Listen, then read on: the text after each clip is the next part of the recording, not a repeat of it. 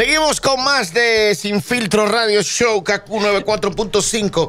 ¿Sabes que el pasado domingo, mi gran amigo, hermano y socio, Santiago Matías, hizo una publicación en su Instagram privado, en Santiago Matías, donde él hablaba que si los dominicanos tenemos una parada Exitosa. exitosa, una no, tenemos dos. Tenemos Sí. las- La- la de Manhattan. la de Manhattan y, la, del Bronx, pero No, también Tenemos más. y, pero también se hacen en New, En New Jersey, en Boston, en, Eso es así. en Lawrence, en, en- en- en múltiples ciudades de, de los Estados Unidos. Y él decía que si nosotros teníamos todas esas paradas, ¿por qué los haitianos no podían tener una parada aquí en la República Dominicana? Esto trajo mucho revuelo en, en muchas... eh, Muchas reacciones. Muchas reacciones entre personalidades del medio, eh, uno que otro ciudadano, unos a favor, otros en contra. Y entre este revuelo, Robert Sánchez, este joven que nos acompaña, está bailando y le están dando su salsita y no tomate ¿Cómo? de una marca de aquella. Dale, Que Robert. no es la primera vez que, que él fija posiciones. Siempre he admirado la, la- la valentía de este amigo, al cual admiro y respeto bastante. Activista político, comunicador, eh, entre otras cosas e inquietudes. Jaime Rincón está con nosotros. Saludos, Jaime, ¿cómo estás? Gracias, gracias. Saludo a todos ustedes, a todo este público, esta audiencia, en especial a la de mi municipio, San Antonio de Guerra. Tú eres de Toda Guerra. mi gente de San Antonio de Guerra, un abrazo, un beso y luchemos por nuestro municipio. Tú resides en guerra. Así es, Ah, ¿tú viajas diario? claro. Oh, y ya. eso no es cerca. Eso es carretera de San Manato, se tiene que No, coger? no, no, no. Sí, te vas por Ah, la de Samaná y te desvías, es más rápido, no hay tapones, Sí, porque coge las. Américas y toma la de Samaná y ahí mismo ya no hay Jaime, te, tanto co- trauma. te- te conocimos en, en la plataforma del Nuevo Diario, eh, que es un periódico que en la versión impresa hace unos años era un periódico para las publicaciones de los divorcios. Divorcio. No, no, básicamente los divorcios y algunas, algunas publicaciones como Sí, que eran obligatorias sí. en términos jurídicos y legales. Exactamente. Y hoy en día el nuevo diario, según un sondeo que vi recientemente, es el diario que más se lee del dominicano en el exterior. Se mantiene posicionado así. Así es, así es. Pero también la plataforma digital, el nuevo diario, hay que decir que hoy en día está dando la batalla a los demás, a los establecidos, y tú eres parte fundamental de- del equipo de- del nuevo diario. Un gran equipo, hermano. Gracias por la valoración eh, de jóvenes trabajando, que nos hemos preparado, nos hemos formado para poder servir y hacer nuestros aportes a la comunicación y poder dejar una impronta, que es lo más importante, y tratar de comunicar con veracidad eh, y en manera, en tiempo directo. La vocación política y social, ¿de dónde te nace? Mira, yo estaba en la universidad y nos dieron una materia, seminarios de liderazgo y modernización. Esa materia nos enviaba a ir a un barrio, detectar cuáles eran las necesidades de ese barrio y hacer un proyecto para solucionar, buscarle solución Pe- a era- esas necesidades. Era como un experimento social. Era un proyecto social eh, para solucionarlo, buscarle solución a un problema y teníamos que ir al barrio, ver, teníamos que escoger uno. Nosotros recuerdo que escogi- escogimos el barrio El Claret, porque uno de los compañeros del grupo vivía cerca y dijo, vamos a ir para allá. Bueno, fuimos. El Claret no es que Núñez, eso es como Kennedy con Churchill, con, Churchill. Lincoln. Exacto, exacto. Por ahí, las inmediaciones. Entonces, ahí mismo eh, nosotros hicimos el levantamiento, bueno, faltaba eh, lo que siempre falta, bueno, aquí falta una escuela más grande porque hay muchos niños, etcétera, aquí falta, aquí hay un, un, un escape de agua que tiene eh, 10 años y no vienen a, a arreglarlo, etcétera, es una calle, aquí no hay alumbrado en, las Sí, en las sí. calles, eran las situaciones y todos los grupos tenían que explicar, exponer eh, como trabajo final de esa materia, seminario de liderazgo y modernización. Y allí me quedé con esa inquietud de ver que fuimos a muchos barrios distintos y que prácticamente eran las mismas necesidades. Allí decidimos, un grupo de amigos, crear la Fundación Jóvenes del Porvenir en el año 2009. Ujú. 2009. ¿Con qué fin? Tienen 10 años ya. Así es, con el objetivo de nosotros poder brindar algo a la sociedad, poder hacer un trabajo social. Iniciamos repartiendo juguetes. Recuerdo, en diciembre, 23 de diciembre del año 2009, Ujú. eh, fuimos a un barrio, eh, se llama, eh, está detrás, en la carretera Mella, detrás el Perla, detrás de, de la onza, por ahí. Sí. Entonces, iniciamos ahí. Luego fue el terremoto de Haití, que fue en el Sí, lo 2010, recuerdo. en enero del 2010. Imagínate, yo un muchachito, eh, llamo a mi amigo Asilis, le digo, necesito dos autobuses de metro con todo, porque vamos para Haití. ¿Cómo? Eh, por las redes sociales, que en ese tiempo no era tanta la influencia de ahora, Sí, nosotros sí. pudimos recaudar eh, medicina, 2009 teníamos voluntarios. Twitter. Eh, Twitter, sí, y. Facebook, Y Facebook, porque yo desde el 2006 Facebook eh, lleva la carrera bien. Pero Twitter tenía mucha preponderancia en mucha ese momento. preponderancia en el momento. Entonces ahí eh, recaudamos mucha ayuda, agua, medicina, ropa, comida enlatada, todo, eh, un grupo de voluntarios entre médicos eh, y Qué bueno. también enfermeros, traductores. Eh, llevamos varios nacionales haitianos que está- radican en, en República Dominicana para que fueran nuestros traductores allá. Hicimos todos los permisos y fuimos a Haití. Esa fue la segunda actividad de la Fundación Y Jóvenes después de ahí ya Porvenir. 10 años de un sinnúmero de actividades. Recuerdo, Así Jaime, es. que y te ahora, pero déjame decirte Mm. lo muy importante, que en todo este trayecto nosotros hemos logrado cosas concretas que funcionan todos los días. Usted puede ir a guerra y allí nosotros tenemos una escuela de música y tenemos un consultorio odontológico. Por ejemplo, si a ti hacerte una ¿Y quién limpieza, sustenta eso? amigos. Y una red de voluntarios. Y cuando yo eh, pongo en mi Facebook que necesito ayuda, todos los dominicanos míos, míos, míos, de Nueva York y en la diáspora, me apoyan 100%, Qué bueno. mandan sus remesas y confían en el trabajo que nosotros estamos haciendo. Pero eh, tuve que salir un momento de la, de la cabina. ¿A qué se debe que tú hayas enfrentado a Santiago de esta manera con tus planteamientos muy válidos? Porque cada, cada planteamiento hay que respetarlo. ¿Qué fue lo que te motivó? Porque yo te voy a decir algo. Yo no lo veo que, eh, que él haya dicho esto, que haya sido antipatriota ni nada por el estilo, como si ha querido vender. No lo ve descabellado. Yo no lo veo descabellado.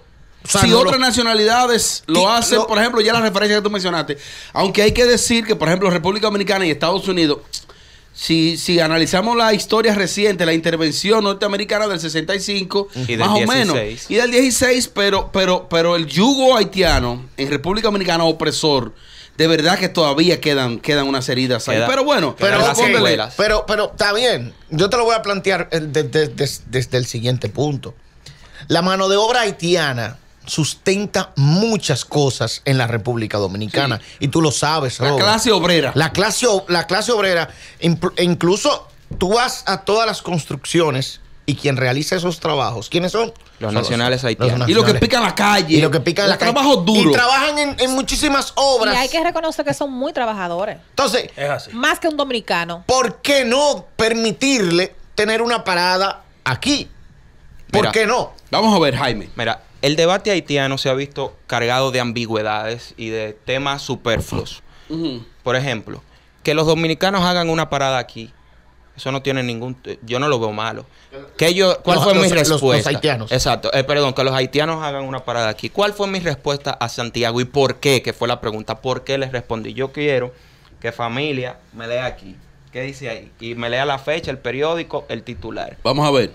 Dice aquí lunes 15 de febrero del 2010. Jóvenes del porvenir en pro de rescatar los valores patrios. ¿Quién es ese que está ahí? ¿Se es usted ahí? Jaime Rincón. Sí. ¿Verdad? 2015. Dom- no, 2010. 2010. 2010. 15 de febrero del 2010. Ujú. Ahí. ¿Qué? Ajá. Jóvenes del porvenir se unen por el amor a los símbolos patrios. Eso es 22 de febrero del 2011. Ujú. Y ese que está en la foto. Ese usted también escuela, ahí, sí. Soy yo. Dos yo tengo hechos 10 cronológicos. años, Ujú. 10 años como un activista a tiempo completo de rescatar los valores patrios en República Dominicana y de control en la frontera. Porque lo que está pasando en República Dominicana, Melvin, estimados amigos, es un problema que nosotros tenemos que enfrentar. Esto no es odio contra los haitianos, no, esto no es xenofobia, esto no es que nosotros no le permitimos a los haitianos eh, eh, o que queremos comernos un haitiano, como dicen por ahí, nada de eso. Esto es un tema totalmente ideológico y por eso fue mi respuesta a Santiago, porque Santiago tiene mucha influencia y esto puede crear una ola de pensamiento que Sí. no es la correcta. Y por eso eh, mi, respuesta educada, con altura, porque hay otros nacionalistas que le dijeron de todo. Usted nunca va a ver a Jaime Sí. Rincón respondiendo desde un medio de comunicación. Hay gente que se desproporcionaron. Eh, exacto, desde un medio de comunicación con ofensas. mi- Jaime. mi- mis armas, mis municiones son los argumentos. Jaime, ¿Y cuál es uno de esos argumentos? Ellos hacen su parada libremente. ¿Qué es una parada? Es decir, cuando los dominicanos salimos a las calles en todas las ciudades que ustedes mencionaron, que yo he participado, eh, ¿con qué objetivo? Es una- sociocultural. Sí, una concentración de. de- sociocultural de los sociocultural. dominicanos. Y cuando, lo- y cuando los haitianos hacen el gaga, ¿qué es? Una manifestación Ok. sociocultural haitiana. Pero de eso quiero hablarte Haitiana. ahora. Quiero hablarte ahora de eso. Eh, Milton Cordero Lechuga te llamó ridículo, busca sonido, te Porque llamó. no tiene argumento y voy mañana para su programa. Pa' donde- Escúchenlo, fuego. ¿Para dónde Lechuga? Así es, él mismo me invitó. Él te marchó. Él mismo ¿A, lo a qué se debe? ¿Qué pasó ahí? No, no, él quiso coger su sonido con el tema. Pero, eh, Y Saros Bertín también. Te Saros dijo que tú desinformaste. Saros Bertí está En el planteamiento de los está en lo correcto en el sentido de que ella está defendiendo su país. Defendamos nosotros los dominicanos nuestro Pero- país. pero, eh, que gastamos 5 mil millones de pesos anuales solo en parturientas haitianas. Es. Y cuando nosotros invertimos 5 mil millones de pesos del presupuesto de ustedes que trabajan y mío, no es, no es de lo que reciben tarjeta Pero- solidaridad que están en pero- su casa, es de la clase media trabajadora. que reciben 5 mil millones de pesos el presupuesto. Y yo le voy a poner un ejemplo sencillo. Odebrecht hicimos tres marchas verdes por el caso de Odebrecht. El caso de Odebrecht, en 10 años, lo que se estipuló fue 92 millones de dólares de soborno. En 10 años, eso no fue en un año, en dos, en Que se tres, eso fue supone en que 10 ya la, años. la Procuraduría recibió ese dinero. Que son 4 4.800 millones de pesos. En Ujú. 10 años nosotros hicimos tres marchas verdes. Anualmente nosotros estamos... eh, las parturientas haitianas están succionando 5 mil millones de pesos del presupuesto dominicano Pero- pero- y nadie dice nada. pero- y si tú dices algo, es racismo y Pero eso una no cosa, puede ser. pero en Estados A eso hay Unidos- que ponerle stop. Perdón, pero en Estados Unidos pasa lo mismo. Nosotros, muchos dominicanos se van de aquí con visa, dan a luz y ellos tienen que cubrir esos gastos y ellos Men- nos permiten a nosotros, perdón, déjame hablar. Claro. Ellos nos permiten a nosotros hacer nuestra parada y nos y no nos maltratan como nosotros queremos estar maltratando a los haitianos. Y Aquí los nadie maltrata a los y los haitianos. venezolanos Aquí no hay que- maltrato y los a los venezolanos haitianos. que entran al país y se quedan ilegal. quedan aquí. Yo te con voy a visa- responder sin visa ahora. y se quedan ilegal. Y hay más de 100 mil venezolanos y están ocupando ahora mismo. la- eh, Tú no te imaginas la cantidad de venezolanos que hay trabajando en las tiendas. En los restaurantes. En restaurantes, sin ningún tipo de regulación, no está Sin en, todo- regulación. en todos los food trucks. En todos y, y- lleno de venezolanos. venezolanos. Entonces, ah, eh, ¿por qué no, nos- por qué no nos defendemos de los venezolanos? Pero déjame- entonces? No, pero primero desglosa el punto del dominicano que, que migra que a va, Estados que va a. Nueva York. Por ejemplo, la a a dominicana que va a Estados Unidos a dar a luz. Desglosa ese punto. Lo primero, estimados amigos y amigas que nos escuchan y todos los que están en esta cabina. Todos los partos en Estados Unidos, alguien lo paga. De una u otra manera. De una u otra manera. O tú vas, tienes que sacar un seguro a esa dominicana que se van a, a- a dar a luz. No y todas, si no, no y si no, todas. no todas. No y si no, no, espérate, tú sabes lo que, que hacen. las que pueden. Exacto, la que puede. Y si no, porque en Estados Unidos está el principio, en Estados Unidos no hay rebote. A usted lo atienden y después le llega su factura. si tú ves un estado de gravedad, te atiende. te atienden. Tú caíste malo en Times Square en la 42, llegó una ambulancia, a ti no te preguntan si tú tienes Si tú cuarto. estás legal, ilegal, te llevan. Derecho a la vida. A ti te atienden, después esa factura te la van a cargar. Y tú sabes qué ¿Y pasa. cómo le calan una factura a una persona que va a dar, va a dar luz con una visa? Te voy a decir ahora. Y ¿Tú sabes qué pasa? no le quitan la visa. Cuando vuelven a renovar, le quitan la visa. tuya. Le quitan la visa. y tú sabes lo que tienen que hacer. Oye, tienen que mandar muchachos con el papá porque no puede bajar junto con el niño. Claro. Eso- y Ajá. hacen su No truqueteo y eso está No mal. la. Cuando la vayan a renovar, Con- se la van a quitar si no pagan. Con- es lo mismo Oye, cuando te ponen un ticket. Claro que Tú sí. lo que odias a los haitianos. No, lo a los haitianos. No. Que sí, claro Ahora, sí. tú amas a los haitianos. Yo- tú, tú lo amas. lo tú lo amas. tengo que ayudarlo. Ah, yo te voy a Claro. poner el ejemplo de ayuda a los haitianos. Ahora mismo, en televisión nacional, en televisión, porque esto va para para las redes y en, YouTube. y en la radio, en KQ 94.5. Yo estoy dispuesto a vender uno de mis vehículos si nosotros y Santiago Matías hace una campaña con su influencia, con la tuya, con la mía, toda la de su elenco, para que arreglemos el registro civil de Haití y para que reforestemos Haití. ¿Tú sabes por qué? Jaime. Porque Haití, espérate, Haití ahora mismo el 0.34% solo le queda de su capa boscosa. Pero yo no veo a Saros Bertí hablando de eso, que su país se va a quedar sin agua en 10 Te años. llamó ignorante ella a ti. Como que No, tú hablas. a- a- no, no, hablo- no, dijo eso. Claro que su- planteaste su- con su relación al gaga. Pero, pero yo te voy a decir, yo aquí estoy diciendo que yo estoy dispuesto a donar dinero Mira, para que nosotros, si tú amas Haití, arreglemos el registro civil. En Haití no te dan documentos a, a- a los nacionales Pero, ¿en qué haitianos y quieren el, el registro civil de nosotros. Apuntarse en el registro civil de la República Dominicana. Vamos a reforestar. Que se apunten. Tú amas, tú amas Haití. Vamos a criticar a la Cruz Roja. Se robó 500 millones de dólares. Cuando el terremoto de Haití y solo construyó Pero- seis casas. pero no Vamos a criticar pero no eso. desvíes para de amor tema. a Haití. Pero, es que tú, hablas que yo doy a los haitianos. yo te estoy diciendo. Estamos hablando de la parada estoy- haitiana aquí en Santo No, Domingo. yo te estoy diciendo. Tenemos que dejar a los haitianos, que es una clase trabajadora, que le da mucho beneficio también, igual que tú y que yo. Porque cuando ellos en una compra de lo que sea, están pagando impuestos, Hermano, Están generando. están generando y se está quedando aquí. óyeme No algo. como, como los venezolanos, ¿sabes lo que hacen los venezolanos? Se buscan 10 y mandan 8. ¿Cómo va a ser? Y, vi- viven con dos. Y viven con dos. Óyeme, los haitianos hacen lo mismo en términos de remesa. Hacen lo mismo No, eh, en no, términos chequea- de remesa. chequea los términos de remesa En términos de remesa para- hacen lo para mismo. Venezuela y hacen para. Haití. Yo te voy a decir, a los venezolanos aquí lo sacaron de Uber. Hubo Ah. un tema con Uber, claro, porque la gente empezó a quejarse. Ven aquí, ¿cómo que este venezolano? A mí me está apareciendo una cara de un de una gente y un nombre de una gente y al final me aparece otra gente. Jaime. En los Uber y lo sacaron. ¿Y quiénes se quejaron? Jaime. Italianos. Esto no es un asunto de racismo, hermano. Eduardo Jaime, para que me escuche. Jaime, Óyeme, no es asunto de racismo. La intención del gobierno dominicano con la ley 169-14 sobre regularización, se invirtió mucho dinero. Quini- ¿Qué se logró? 50 millones de dólares. ¿Qué se logró Nos con esa ley? costó a nosotros regularizar a haitianos. Pero ¿qué porcentaje se regu- regularizó? ¿Existen estadísticas?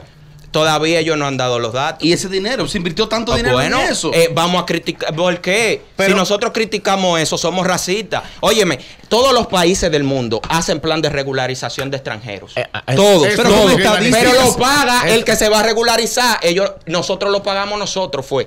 Porque- Eso. Nosotros se lo pagamos a ellos. Por ejemplo, cuando Te- nos regularizan a nosotros en los Estados Unidos o Tú pagas, tú tienes que pagar todo tu, tu Tienes que pagarlo. Todo, todo lo tienes que pagar y hay impuestos. Pero yo no lo veo mal. Yo, no yo tampoco, Yo no lo veo yo mal. Jaime, tampoco, entonces- si ellos lo pagan. Jaime, Yo- entonces si lo- ellos lo- lo pagan. Pero aún así los haitianos, aún eh, el Estado dominicano cubriéndole esos gastos, lo que implicó Esa la ley xenofobia, 169 señor. Somos racistas. Ellos no, no tuvieron la voluntad de ir a regularizarse. Sí, claro, fueron muchos. ¿Y qué pasó? Pero había, ah, ustedes nos veían las, las imágenes, por ejemplo, en las gobernaciones de cada provincia, lo pueden buscar. Las gobernaciones de cada provincia estaban llenas. Y aquí abajo, en el centro de los héroes, donde está la Dirección General de Migración, eso le daba la vuelta a- al agua y luz y, todo esa, y toda esa parte de nacionales haitianos. Y yo no vi a nadie cazando haitianos Pero- ni diciéndole nada. Y yo te voy a poner otro ejemplo sencillo respecto a lo de la construcción. Yo estoy de acuerdo que aquí vengan no haitianos, de cualquier país, o sea, puede venir haitiano, de donde sea, venezolano,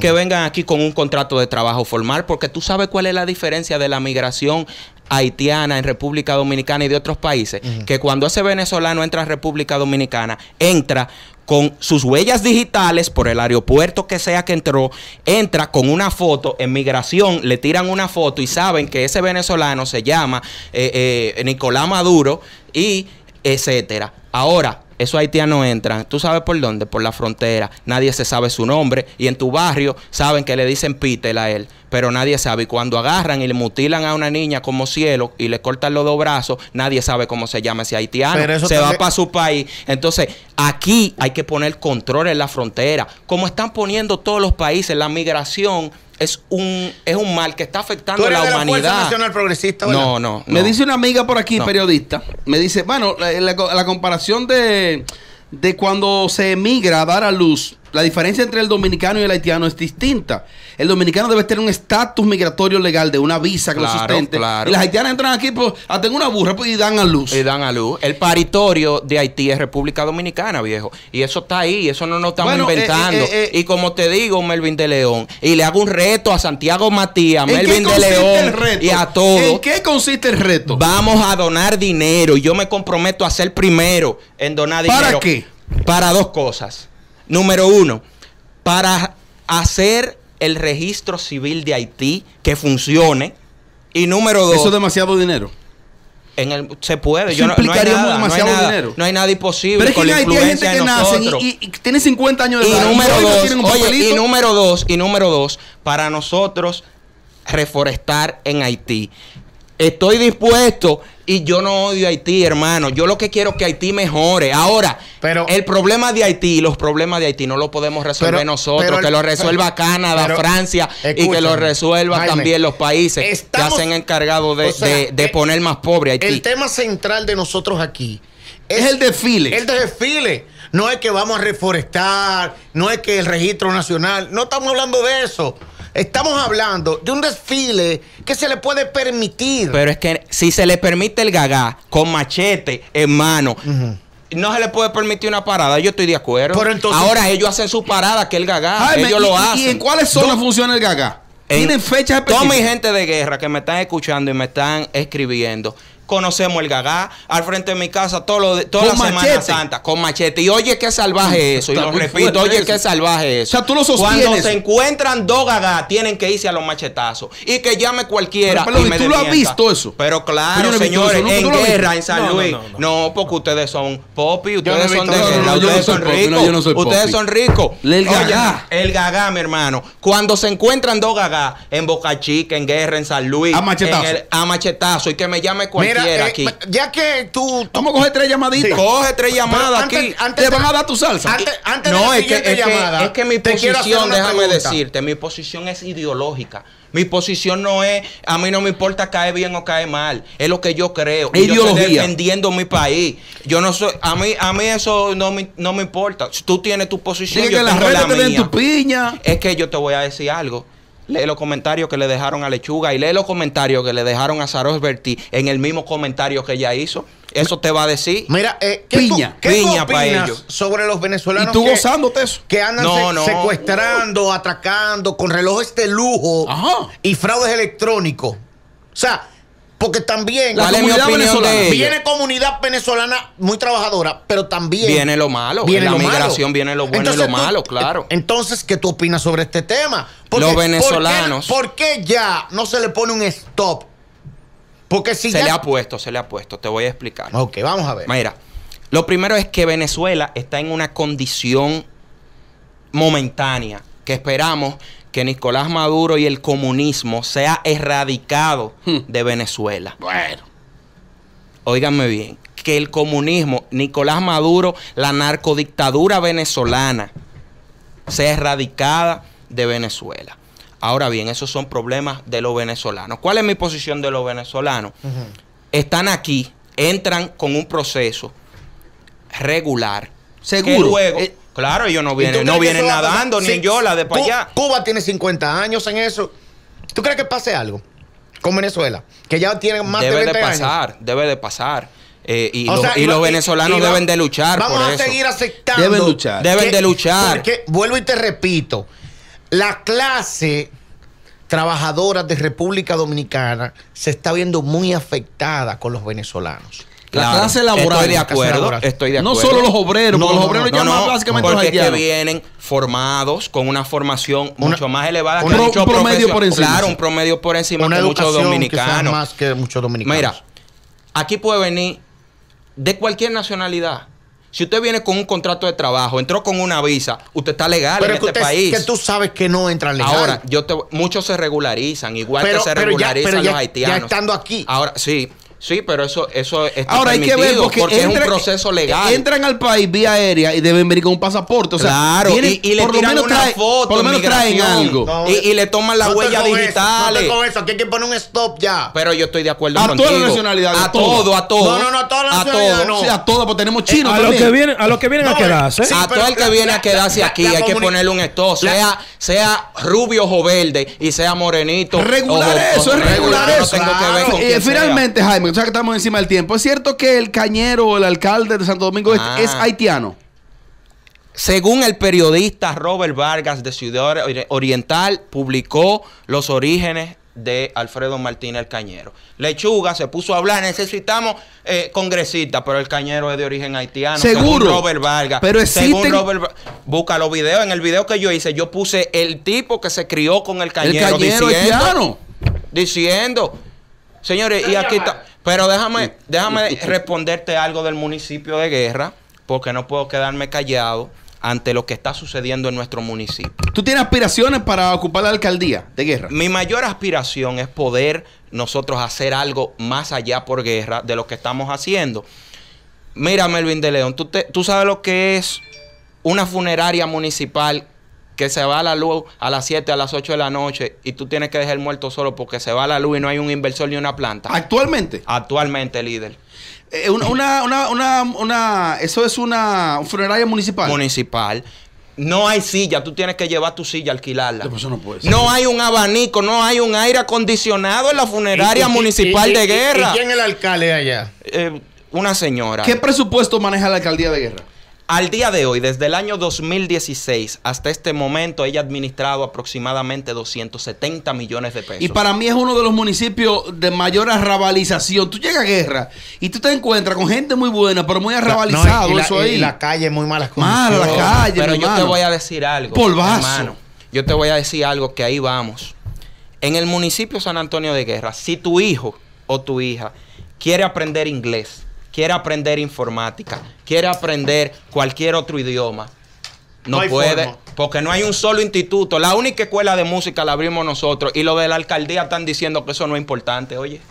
Eh, Melvin, vamos a tomar dos llamaditos, tres para Jaime Rincón, que está con nosotros, activista político, comunicador, un hombre muy activo. Recuerdo, Jaime, cuando te vi protestando en las inmediaciones del Congreso Nacional. Claro. Pero también, también te vi como una especie de vistas públicas. Aló, buenas. Una exposición Saludos. brillante. Diablo, Melvin. Diablo, Robert, dale. Oye, eh, mira, yo tengo una consideración. Yo pienso que todo el que está, está ilegal en cualquier país del mundo, no solamente aquí, debe regresarse o, eh, o debe marcharse si pierde el estatus de legalidad. Bien. Porque eh, eso es como cuando tú visitas a una persona a una casa. Primero tú tienes, antes de tu pasar, tú tienes que saber si tú eres grato o no y si estás, te estás siendo invitado. Si tú pierdes ese tiempo eh, de de estatus legal, desafortunadamente debes irte. No es que estamos en contra de los venezolanos, de los haitianos, colombianos, no- norteamericanos. Es que si estás legal, pues permanece hasta la fecha de marcharte. Si no, desafortunadamente, no podemos, no podemos. Vamos a tomar dos llamadas más breves. Gracias, Estamos hermano. con el tiempo arriba. Aló. Aló, buenas. Hello. Aquí está Jaime Rincón con nosotros. Saludos, dale. Eh, mira, el, el pana tiene, tiene su punto, pero creo que un par de palabritas que utilizó, como que no se manejó bien con un par de palabritas. Pero realmente para mí, para mí los venezolanos, si siguen como van y siguen utilizando esa inteligencia que ellos tienen para hacer el mal, no puede hacer más daño que los haitianos. ¿Cómo? Bien, y hay que sacarlo también. Gracias, yo estoy de acuerdo. Esto no es con los haitianos nada más. Esto es con ¿Quién- todo el que está aquí ilegal. con estatus que, que no Y yo te voy a decir algo, Melvin. Mira cómo Bahamas y Trinidad y Tobago saca a los haitianos cuando se cruzan a pescar por allá. Y nadie dice que los bahameños y que los de Trinidad y Tobago son racistas. Lo sacan. y aquí, ¿por qué no podemos? Lo Hello. sacan. A terror. A terror. Buenas. Sí, buenas. Yo quiero felicitar a ese joven. porque Gracias. él Ha demostrado con argumentos todos sus puntos. Y yo estoy totalmente de acuerdo con lo que él dice. Y a Melvin, Dime, que corazón. hable con argumentos, que no lo ataque cuando él no esté de acuerdo en algo. con Mi él. amor, pero yo estoy de acuerdo que se haga una parada dominicana de haitiana aquí. ¿Qué tiene de mal? Es, No tiene es mi nada de punto. malo, no tiene nada de malo. Ya lo eso- que no lo que no debes decir es, es que hay xenofobia, que odiamos a los haitianos o que ese joven que está ahí los odia porque él ha demostrado todo lo él contrario. tiene su cosita por No, dentro. no. Ey. No, Tú no. tienes tu cosita. Le, agradezco ey, a la joven que llamó, le agradezco a la joven que llamó y es lo que te digo. Yo reto a Santiago Matías los Pero a ti, no, a todos, que- que, que recaudemos aquí- dinero para aquí, mi arreglar el registro no, no, no, civil.